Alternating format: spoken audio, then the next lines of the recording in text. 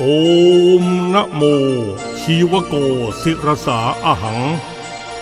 กรุณิโกสภะสตานัง โอสถะทิพะมันตัง ปภาโสสุริยาจันทัง โกมารพัจโจ ปกาเสสิ วันทามิ ปันดิโต สุเมทะโสอโรคา สุมนาโหมิ สมาพันธ์แพทย์แผนไทยภาคใต้ เกิดจากการรวมสมาคม ชมรม กลุ่มแพทย์แผนไทย และหมอพื้นบ้าน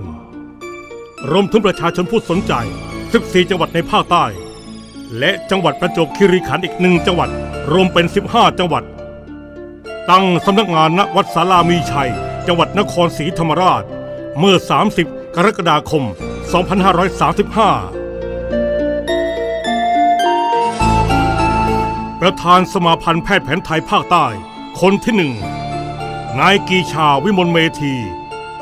2535 ถึง 2537 คนที่สองนายสันอัสโดดอน 2537 ถึง 2546 คนที่สามพันเอกประจวบรักจูน 2547 ถึง 2555 คนที่สี่ นายจรันนวลศรี 2556 ถึง 2559 คนที่ห้านางจิตดาภาปรีชานุพัก2550 ถึง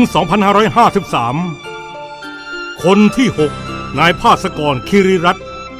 2554 จนถึงปัจจุบัน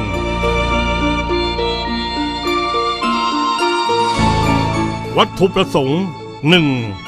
น้อมนำปรัชญาเศรษฐกิจพอเพียง มาปรับประยุกต์ใช้ในภูมิปัญญาการแพทย์แผนไทย 2. พบปะแลกเปลี่ยนความรู้และประสบการณ์ การนำกรรมวิธีการแพทย์แผนไทยมาใช้อย่างถูกต้อง 3. พัฒนามาตรฐานวิชาชีพการแพทย์แผนไทย 4. ส่งเสริมจรรยาบรรณและจริยธรรมของแพทย์แผนไทยและหมอพื้นบ้าน 5. สนึกรักและหวงแหนในภูมิปัญญาการแพทย์แผนไทย อันเป็นมรดกของชาติ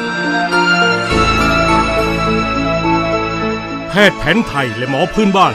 จัดตั้งเป็นองค์กร สมาคม ชมรม เป็นกลุ่มในจังหวัดต่างๆ ทั้ง 15 จังหวัดผัดเปลี่ยนหมุนเวียนกันเป็นเจ้าภาพ จัดการประชุมสัมมนากิจกรรม พัฒนามาตรฐานการแพทย์แผนไทย ให้เป็นไปตามวัตถุประสงค์ทุกๆ 4 เดือน ปีละ 3 ครั้ง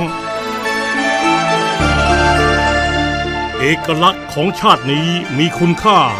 ต้องปกปักรักษาและหวงแหน เพื่อให้ได้สิ่งที่ดีในเขตแดน เป็นตัวแทนเอกราชของชาติไทย แพทย์แผนไทยและหมอพื้นบ้าน นับเป็นภูมิปัญญาไทยแต่ดั้งเดิม ที่ควรค่าแก่การสืบสารและอนุรักษ์ไว้ให้นานเท่านาน เพื่อเป็นเอกลักษณ์แห่งความเป็นไทย